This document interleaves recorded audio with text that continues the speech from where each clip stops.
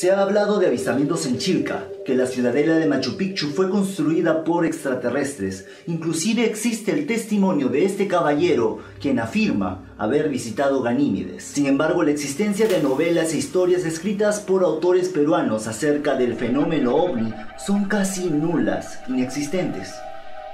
Hasta ahora.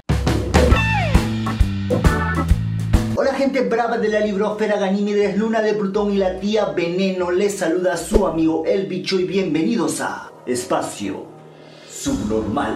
Hoy hablaremos acerca de Se Vende Marcianos, muestra de relatos de ciencia ficción peruana a cargo del señor José Donaire. Es un libro que recopila 32 relatos cortos acerca del fenómeno ovni, todos escritos por autores peruanos. Y antes de empezar con este video quiero advertir una cosa, si has sido parte de este proyecto, si has sido uno de los 32 autores que ha participado en este proyecto, no tengo nada en contra tuya, ¿ok? Pero vamos a empezar con lo positivo, con lo que me ha gustado, con lo, que me ha llamado la atención del libro. Para empezar me llamó muchísimo la atención el título porque es recontra peruano. Para las personas que no son de Perú, al menos aquí en Lima, los marcianos no solamente se refieren para nosotros a las personas que vienen de Marte, sino que un marciano es un producto golosinario en donde llenan una bolsa alargada con el jugo de alguna fruta y eso se, congela. Entonces tú vas a encontrar en verano casas particulares que preparan estos marcianos o chups y los venden de manera ¿no? clandestina, no mentira. Pero no solamente fue por el nombre que me llamó la atención el libro, sino que el género de la ciencia ficción no es tan desarrollado aquí en mi país. Entonces dije, oye, man, ya, ha salido un libro de autores peruanos que habla sobre el fenómeno ovni. Y aparte de estos dos factores, uno de los autores que participó en la elaboración de este libro estaba justo en la librería firmando su libro y todo y me dio un descuento sobre el libro, entonces dije, ya, vamos a probar. Antes que pasemos a la otra polaridad de este video, a la carnecita de este video, quiero mencionar aquellos relatos, aquellos autores que me llamaron la atención, que me parecieron buenos.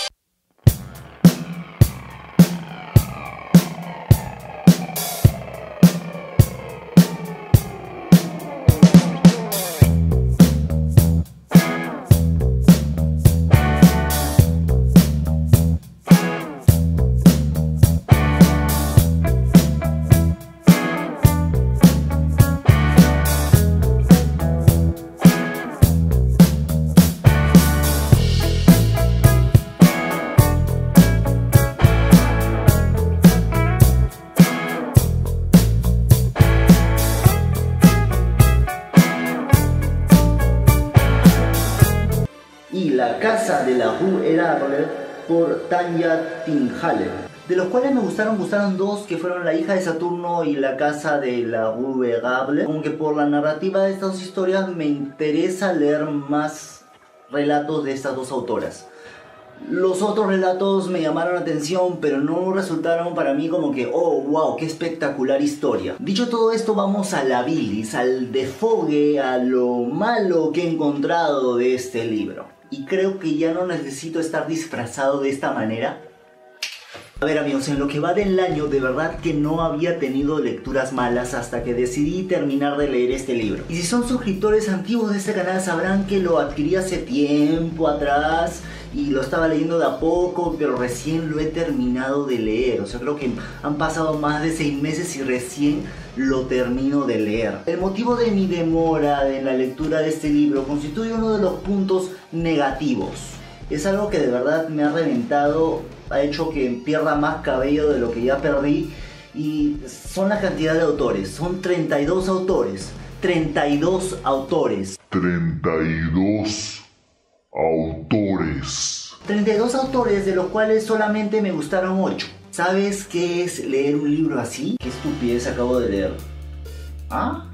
Este pata escribe novelas sobre horóscopo. Mm, al fin algo bueno. Y ustedes saben que me gustan leer relatos cortos, o sea, esto no me sucede con Daphne du Muriel. Cuando leí Los pájaros no me sucedió eso. Cuando leo El umbral de la noche de Stephen King, que tiene relatos cortos, no me sucede eso. Cuando leo Edgar Allan Poe, no me sucede eso, ni con Lovecraft me pasa eso, al contrario, es como que termino de leer un relato, tengo que asimilarlo porque me impresionó y luego quiero continuar con otro más y con otro más y con otro más, pero con este era una vaina de que, o sea, el siguiente relato va a ser tan mediocre como el que acabo de terminar de leer. Ya van tres relatos que no me han gustado y este de acá ni siquiera lo he terminado de leer. Ahora quiero que hablemos acerca de la presentación del libro. Yo sé que es un tema que nunca toco en este canal, al menos lo toco muy poco, pero sí me parece importante. Sí me parece importante sobre todo cuando hablamos de un libro como este. Y vamos a empezar con la portada. ¿Ok? Acompáñenme. Ya, ahora van a ver algo.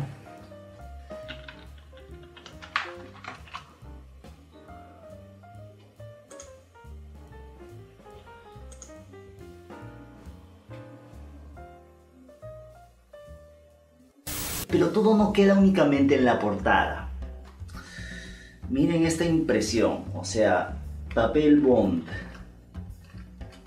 No es algo que me, que me importe mucho. Por ejemplo, hace poco he terminado de leer un libro de un autor peruano y está escrito también en papel bond.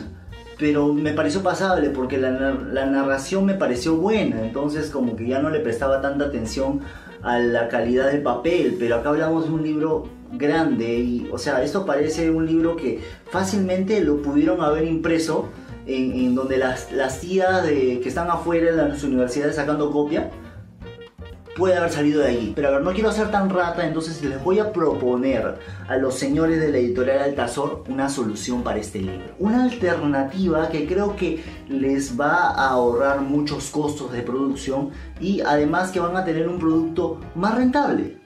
Heladero de mierda.